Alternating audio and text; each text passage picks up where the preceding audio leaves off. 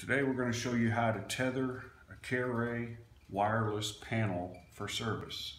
These are the things that you'll need. This is the power and communications box. It says CareRay on it. It has the place for your electrical cord on one end. Has the on-off switch. Off would be the circle. On would be the line.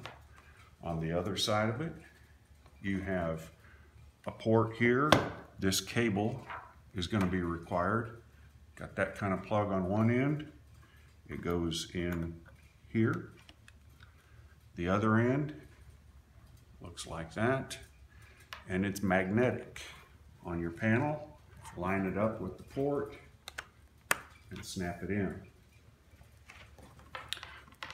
The last cable you'll need is to have a network cable. Has the same plugs on both ends. And we can put it in the LAN port. And the other end goes to your wireless router. There are four ports on the back. Plug it into any one of those four.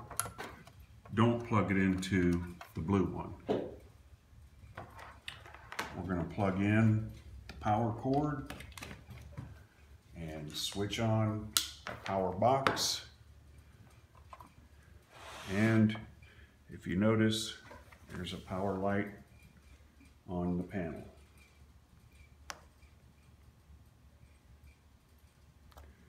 Okay, we're going to hold in the power button until it comes on and it will do its initial startup where all the lights are lit